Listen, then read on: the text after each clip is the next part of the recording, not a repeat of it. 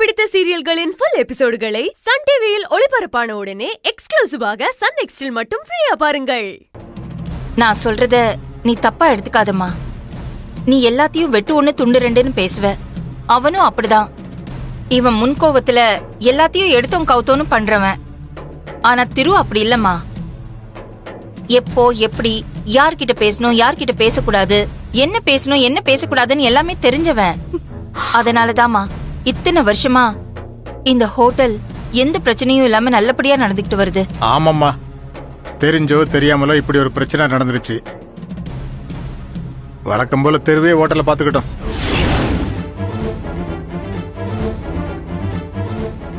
பாத்தியம்மா செல்வி இன்னைக்கு ஹோட்டல்ல ஒருத்தன் குடிச்சிட்டு வந்து உன் கையை பிடிச்சி இழுத்துருக்கான். அதை பார்த்துட்டு நாளைக்கு நிச்சயமா இன்னொருத்தனும் வருவான். அதை பார்த்துட்டு இவன் சும்மா இருப்பானா? திரும்பவும் அவனை அடிக்க போவான். திரும்பவும் இந்த மாதிரி போலீஸ் கேஸ்ன்னு. இன்னொரு தடவை இவனை இந்த மாதிரி ஒரு நிலைமையில பாக்குறதுக்கு எங்களுக்கு தெம்பு இல்ல. இத பாரு லாபமோ நஷ்டமோ. திருவே ஹோட்டலை பாத்துக்கிட்டோமா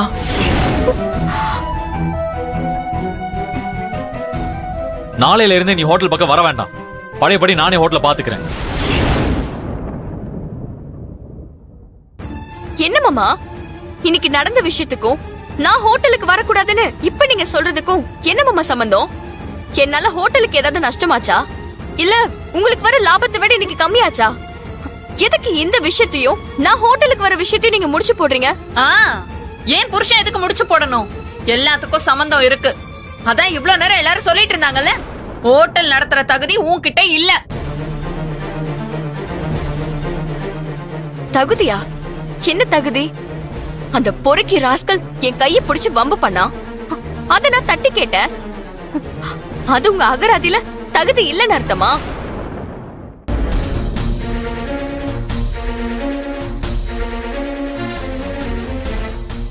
அப்போ நாளைக்கு இந்த ஹோட்டல்ல சாப்பிட ஏதோ ஒரு பொண்ணு வரும். அந்த பொண்ணு கிட்டயும் எவனாவது ஒருத்தன் இப்படி நடந்துப்பா? அப்போ எனக்கு என்னன்னு தானே இருப்பீங்க? செல்வி செல்வி. என்ன உன் பாட்டுக்கு இஷ்டத்துக்கு பேசிட்டே போற? அதான் இத்தனை பேர் சொல்றாங்கல்ல. உன் பேச்ச கேட்டதுனாலதான் வேலுக்கு இந்த நிலைமை. அவர் மட்டும் எப்பவும் போல அவர் அண்ணன் பேச்ச கேட்டு சும்மா கிச்சன் உண்டு அவர் வேலை உண்டுன்னு இருந்திருந்தாருன்னா இப்படி வீணா அடி வாங்கி கஷ்டப்பட்டிருப்பாரா? சும்மா பெருசா வெள்ளை வெட்டி சட்டை போட்டு கார் அது இதுன்னு கூட்டிட்டு போனேன். இப்ப பாத்தியா போலீஸ் எப்படி உட்கார வச்சிருக்காங்கன்னு?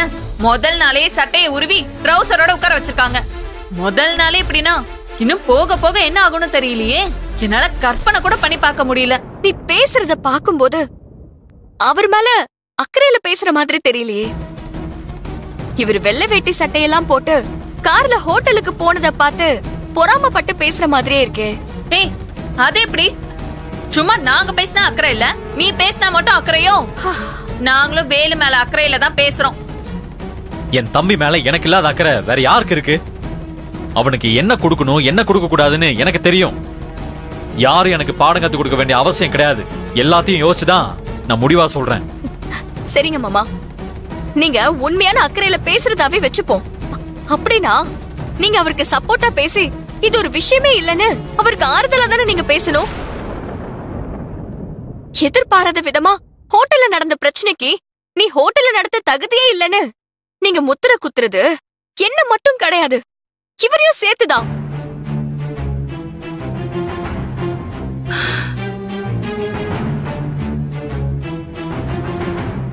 நீங்க சொல்ற மாதிரி இப்படி நடக்கிறதுக்கு நான் தான் காரணமா இருந்தா இன்னொரு வகையில நீங்களும் தான் மாமா காரணம். என்னது? என் தம்பி இப்படி ஆனதுக்கு காரணம் நானும் சொல்றியா? செல்வி என்னம்மா? விடுமா. என்ன பேச்சுது? யார பார்த்து என்ன வார்த்தை கேக்குற? கொஞ்சம் சும்மா இருமா.